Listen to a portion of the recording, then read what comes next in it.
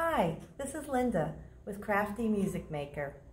Today I'd like to show you how to put staff lines on your board. My last two schools were in classrooms and so they didn't have any of the staff lines on there and I wanted them up so that I could have them all the time. So what you need today is some pinstriping. It's 1 8 inch black that you can get at any auto parts store. You need a ruler,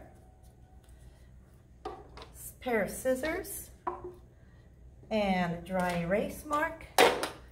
And then if you're going to use circles, figure out which ones you're going to use so you can measure your lines. These are just poker chips with magnetic tape on the back. So let's get started. I went ahead and measured my lines so that I didn't have to deal with the whole reel while I was trying to put them up. But before I can do that, I need to measure how far I want down. And I've determined that I would like these to be 14 inches down. So I'm just gonna put it right up there. And 14 inches is right here. And then I just go across, measure 14 inches.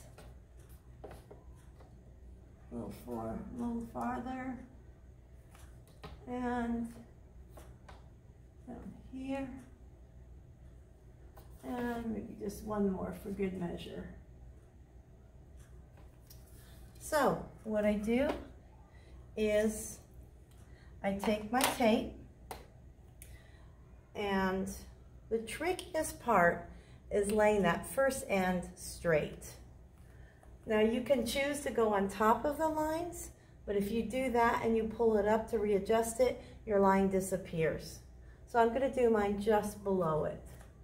So I'm gonna put this right under it. And again, I want it straight. So that's pretty good. Hold that side down.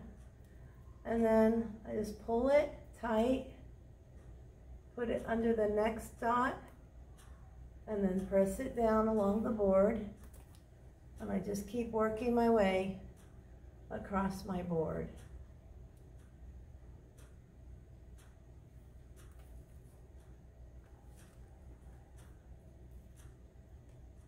And just lifting it up if I feel like maybe it got off a little and trying it again. And then again, making sure this last little bit is straight. There we go. And then you need to decide how wide you want your stripes. Mine are just about an inch and a half apart. So I take my ruler and since my board isn't that deep, I'm gonna go from this side and I'll just put it on the 10 and at the bottom and I'm just gonna mark off an inch and a half here, an inch and a half here, another one, and the last one.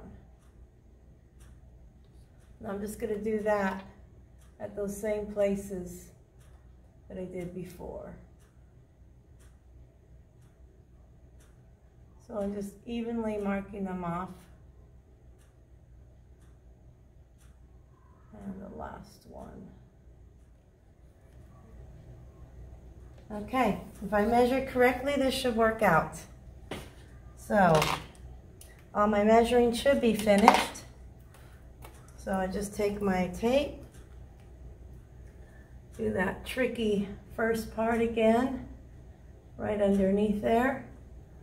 Pull that tape out, go underneath that first line, and just continue on all the way. Again, I just lift it up if I feel like it's not as straight as I think it should be. There we go. And the last little bit. It's always the trickiest. There we go. And then, and then here's the last one. Once you get this end down, you're good.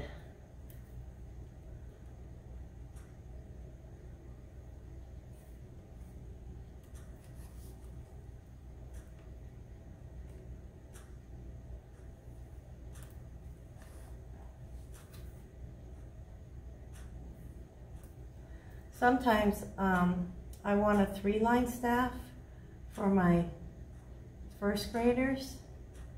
And this is a really good way to do that. Anyway, super easy. Then when I want to put notes on here, it's just so nice for me to just be able to put them right up here. Change them out super quickly. And, uh, or you can even, you know, use them to write notes in if you want to do some dictation. They do have a little bump to them, but it's not really a big deal. And it's nice that they're there. And then of course you just erase and boom, ready for your next song. I'm gonna erase these other lines right there. And there I have an instant staff ready to go. Good luck. Let me know how you do this. Like this video if this is something you found helpful. And uh, subscribe if you want to see of any other of my videos.